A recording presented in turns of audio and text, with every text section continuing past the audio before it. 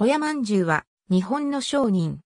東京都銀座の百貨店である松屋の前身の一つ、鶴屋呉服店を夫の小屋徳兵衛と共に創業した人物であり、松屋の黎明期を支えた人物の一人である。出生名は牛山富。海の国駒郡下京来志村出身。下京来志村の村長である牛山半左衛門の長女として誕生した。1869年2月、林村の駒郡上京来志村出身の小屋徳兵衛と質素な祝言を挙げた。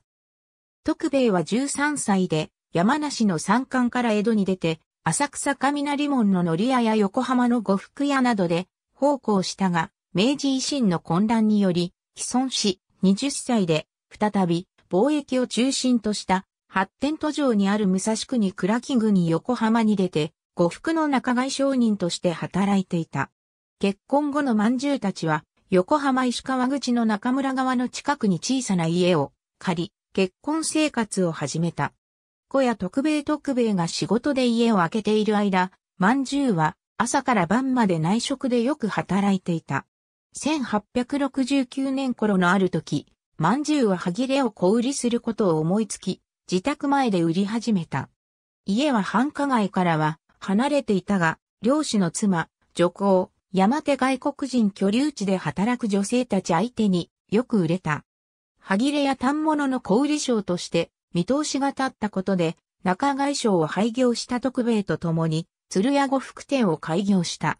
当初は小さな店であったが、開業当初から繁盛し、近隣店舗の買取などで拡大し、やがて第五福店に発展した。西南戦争の頃には、すでに横浜で有名店の一つとなっていた。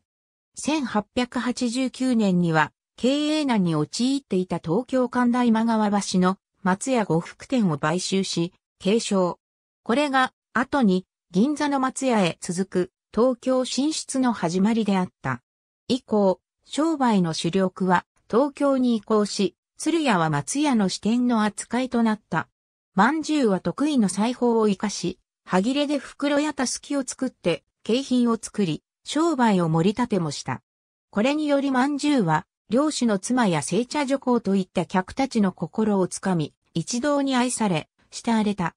また客が従来のように単物を一旦二単とまとめて買うのではなく、無用は買い物を控えて切り売りを望んだため、鶴屋では切り売りを始めた。これは当時としては画期的な商売方法であり、店員に商品知識が必要になったため、饅頭は教育係を買って出て、毎晩の閉店後に店員たちを集め、和裁での衣類の立ち方などを教えた。これが松屋における店員教育の始まりであり、松屋の厳格な教育の伝統となった。1905年に東北地方が飢饉に見舞われた際、白米を入れた袋を道場袋と名付けて多数送るなど、事前事業にも尽くした。愛国婦人会神奈川県支部の幹事や評議員も務めた。松屋呉服店が店員が商品を客に見せながら販売する座売りから客が店内の商品を自由に手に取ることができる陳列式販売へ移行し始めた頃、松屋の百貨店への繁栄を見届け、1907年3月19日に死去した。満57歳没。墓碑は横浜市中区根岸の共同墓地にある。温厚な夫の徳兵衛とは対し、万十は男勝りで勝ち気な女上丈夫な性格で、徳兵衛の内助者としては対照的であった。徳兵衛との間には六男三女の子だくさんに恵まれて私生活でも多忙であったが、家事の傍らで商売でも大きな働きを見せた。徳兵衛と共に勤勉で、常に彼を助け、鶴屋と松屋の発展の大きな礎となった。心遣いも細かく、常に奉公人の先頭に立ち、一同の心を掴んでいたため、店員たちも影ひなたなく働いた。徳兵衛が鶴屋を開業するにあたり、資金不足から借金をしたが、その時着ていた羽織の紐は、饅頭がちりめんぬとじーとで編んだものであり、饅頭の勤勉と節約ぶりを表していた。この姿を見た借金相手は、この夫妻は必ず成功すると見込んで金を貸したという。鶴屋の店の柱には、子に伏し、虎に起きることと書かれており、店頭には、糸、付近、小切れの客は別段大切に早く取り扱うべしと掲げられており、饅頭は、徳兵衛と共に、これらを文字通り実践した。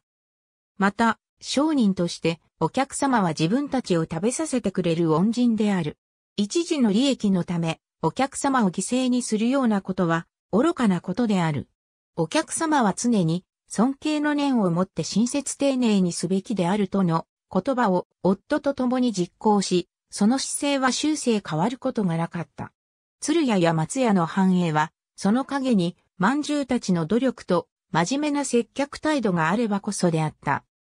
没後に、横浜の菩提寺増吉院で葬儀が営まれた際には、鶴屋から増吉院まで約1300メートルの道に葬列を見送る人々が溢れ、その先頭が寺に到着してもまだ、鶴屋を立っていない参列者がいたことから、饅頭がいかに人々から慕われていたかが忍ばれる。ありがとうございます。